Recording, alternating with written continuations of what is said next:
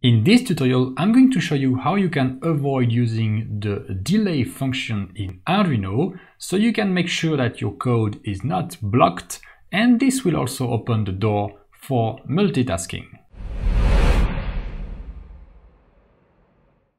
Okay, and we are going to start with the simplest possible example, okay, so that would be very easy to understand. This is the blink LED example, okay, so we define an LED pin, we use pin mode to set the LED uh, pin as output and then we alternate between digital write high and low to power on and power off the LED. And of course, this is what we want to change here, the delay, so delay 500 here between the two states. So the problem here is that when you use delay, your program will be stuck there for 500 milliseconds. You can't do anything else. Okay, so let's say you have two LEDs that you want to blink at two different rates. That's not going to be possible using the delay like that. If you want to read from a sensor, if you want to do anything else, well, if you have a delay like this for 500 milliseconds, well, everything is going to be super late and you won't be able to process many actions at the same time. So what I'm going to do here, I'm going to rewrite that so that we don't use the delay uh, function and that the functionality stays exactly the same, okay? And so I'm first going to remove all of that, okay? Instead of using the delay, what we are going to do is we are going to use the time functionality, so for example with millis, so we can get the current time and we are going to store simply the last time we have blinked the LED. And every time we enter the loop, we are going to check the difference between the current time and the last time we have blinked the LED. This is a duration and we are going to compare this duration with a value we want, for example, 500 milliseconds. So let's start this. I'm going to create here a global variable unsigned long last time LED blinked. And I'm going to initialize it to, let's say, millis, which is zero at the beginning of the program. Okay, so this name is quite explicit. We're going to store the last time the LED has blinked. And I'm going to create another one, unsigned long blink delay.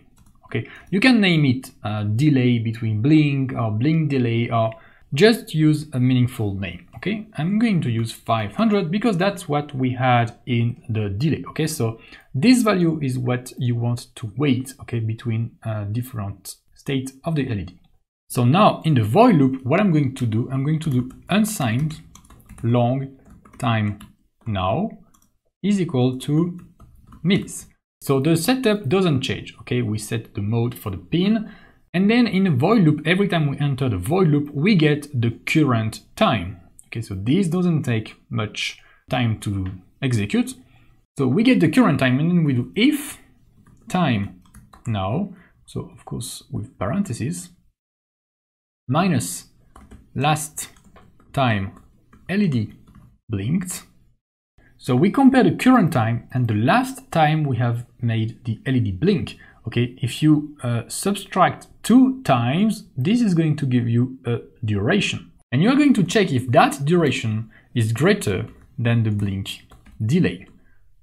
So this basically means that the if will be true only if we have waited at least 500 milliseconds since the last time we have made the LED blink. So now I can enter that if, and in that case, I'm going to do now two things, okay? I'm going to toggle the LED state, and I'm also going to, so this is important, to update last time LED blinked, so I can update it to time now, for example, which means that this is now time now, so the next time we enter the void loop, this is not going to be greater than 500, okay, because the last time LED blinked was just set to the time now, okay? So you will have to wait at least 500 more milliseconds so that this condition is true again. So with just this block of code, with nothing to do with LEDs for now, with just this block of code, you can execute an action every 500 milliseconds, okay? And that's going to be the same block of code for any action you want, okay? So that's kind of a template here. And now, of course, well, we are not just going to create a block of code that is going to, uh, so we are not just going to enter that if every 500 milliseconds for nothing. We are going to toggle the LED state. And before that, what we did is to use digital write with high and with low. Thing is that now we can't just say digital write high or low because we need to kind of know the previous state for the LED, okay? We need to toggle between high and low. So we need to keep, I'm going to keep with byte LED state, let's put low uh, by default. I'm going to keep the state uh, for the LED. And in that if, I'm simply going to do another if. If LED state is equal to low, then we set LED state to high. Okay, make sure two equal for comparison, one for variable assignment. Else LED state is equal to low. So we just toggle the uh, value for the LED state here. So when 500 milliseconds has passed, what we do is we check if the LED state was currently low. In that case, we set it to high. If it was not low, basically it means it was high, and so we set it to low. And after that, if what I'm going to do, I'm going to do digital write LED pin with LED state. So now is the time to write digital write and we are going to apply the new state for the LED, so high or low, and we are going to power on or power off the LED. And well, that's it. So maybe this code is a bit more complicated than just writing delay, okay, for one action. But then with that code, you can just use uh, this here with those uh, two variables here as a template for any action you want to do with Arduino. Okay, so you just need to understand it once. That's maybe the hardest part is to understand it the first time. And then it's always the same. So you just repeat it as much as you need. So for example, let's say you have another action you want to do. I'm going to put it there. Unsigned long, let's say last time action. I'm just going to name it action, okay, for anything you want. Is equal to millis unsigned long, uh, let's say action delay is equal to, let's say you need 678 milliseconds, okay? What you can do now is, so in the void loop, you have, you get the time now, and then you do the first action. So this is basically um, blink LED, okay?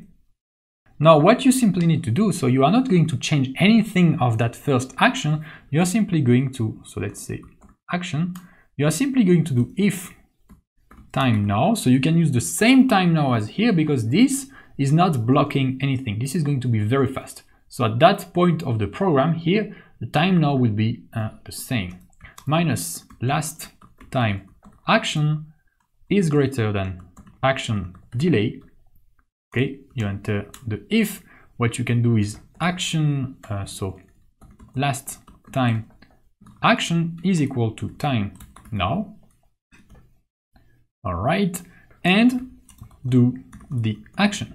All right and this is the same block of code as here and then do the action. Well you can uh, do the whatever action you want. You can create another function to call etc etc and for each new action you want to do you just need to repeat that. So you create two new variables, and then of course you get the time in the loop at least once, and then you use this structure to execute the new action, and all of the actions are going to be executed so fast that it's just like you are multitasking your Arduino.